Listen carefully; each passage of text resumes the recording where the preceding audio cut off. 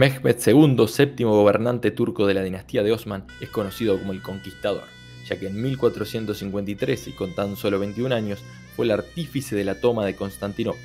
Con él, Constantinopla renació como Estambul, una majestuosa capital imperial con nuevos e imponentes edificios. El 12 de junio de 1444, Mehmed fue nombrado sultán regente mientras Murad no estaba. Ese mismo junio estalló una revuelta entre las tropas de élite llamadas genízaros que pedían que Mehmed les aumentase la paga.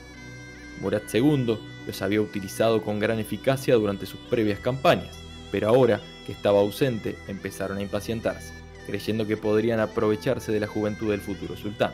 En la revuelta, los genízaros se amotinaron y quemaron el mercado de Dir. El sultán cedió y les aumentó la paga. Este fue uno de los primeros obstáculos que tuvo el futuro líder. En septiembre de 1448, el ejército cruzado avanzó por el Danubio para atacar a los turcos. El futuro sultán fue llamado por su padre para que fuese a Dir, se uniese a sus tropas y se enfrentara a los cruzados. Este fue su primer bautismo de fuego en la segunda batalla de Kosovo el 23 de octubre de 1448, donde tomó el mando de las tropas de Anatolia en el flanco derecho del ejército de su padre. Esta batalla tuvo un resultado positivo, ya que los turcos arrollaron a los cristianos en un combate que duró tres días. En el año 1451, luego de la muerte de su padre, Murad II, el joven Mehmed II fue nombrado sultán.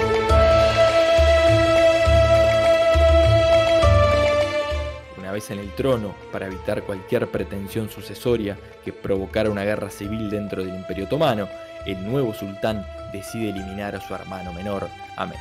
Se justificó el asesinato como una, una medida tomada de acuerdo con el Código Otomano de Fratricidio que se había practicado en diversas ocasiones para evitar guerras de sucesión. Ahora Mehmed centraba toda su atención en la conquista de Constantinopla.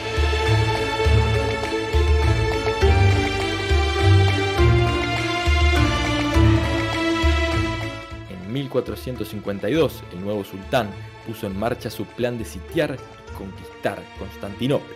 Construyó una fortaleza en el verano de 1452 a las orillas del Bósforo.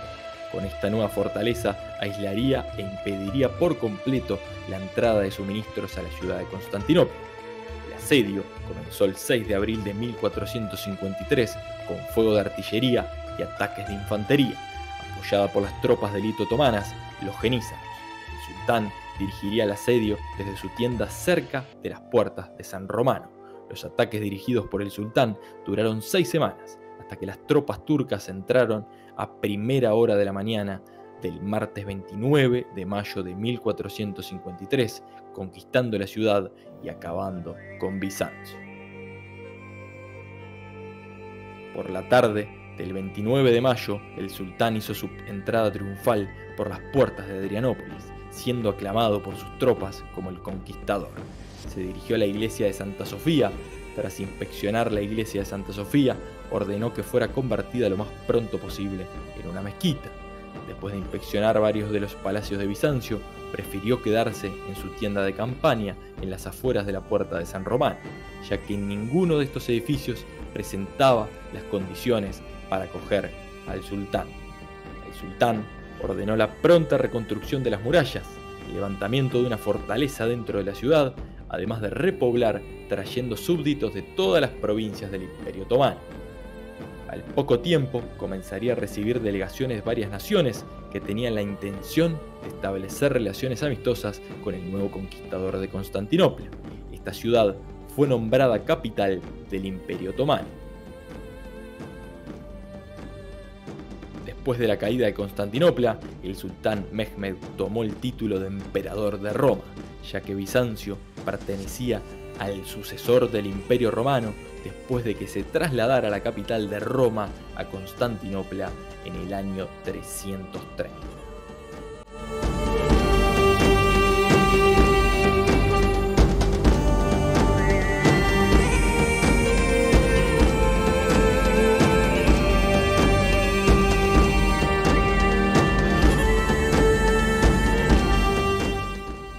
1456, Mehmed organizó una campaña contra el reino de Hungría por el control de Serbia. Esta tenía como objetivo principal la toma de Belgrado. El sultán, al mando de un ejército de 60.000 hombres y 200 barcos, puso sitio a la ciudad de Belgrado el 4 de julio. La formidable ingeniería del castillo de Belgrado demostró ser muy fuerte para los ejércitos otomanos. El 14 de julio de 1456, el regente y comandante de todos los ejércitos húngaros llegó a la ciudad totalmente cercada con su flotilla en el Danubio. Mientras que la marina de guerra turca se encontraba en el río, los húngaros rompieron el bloqueo naval el 14 de julio, hundiendo tres grandes galeras otomanas y capturando cuatro grandes navíos y unos 20 más pequeños. Tras destruir la flota del sultán, los húngaros lograron llevar sus tropas y las provisiones a la ciudad. Con ello, reforzó la defensa de la fortaleza. El 21 de julio, el sultán ordenó un asalto total por todos los flancos comenzó en el ocaso y continuó durante toda la noche siendo repelido por los húngaros. Luego, un contraataque inesperado de los ejércitos cristianos a las posiciones turcas los tomó por sorpresa y el ejército otomano emprendió la retirada. Ante las puertas de Belgrado recibió su primera derrota el joven sultán, quien emprendió la retirada dejando 20.000 de sus soldados en el campo de batalla y regresó con una herida en muslo por una flecha enemiga. La guerra con Hungría no provocó que el sultán bajara los brazos, ya que logró conquistar Grecia. En 1460 conquistó Tebas, último ducado de Atenas, y también conquistó Serbia. Entre otras ciudades, Venecia cayó en manos turcas.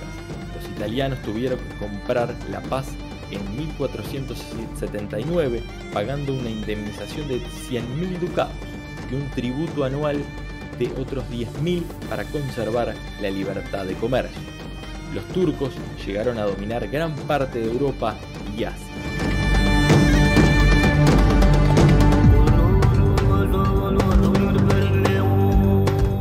El 3 de mayo de 1481, Mehmed falleció a los 49 años, supuestamente envenenado por su médico de cabecera. Muchos sultanes hicieron imitar sus hazañas e incluso llegaron a sitiar la imperial Viena, pero ninguno pudo proclamarse como lo hizo Mehmed el Conquistador.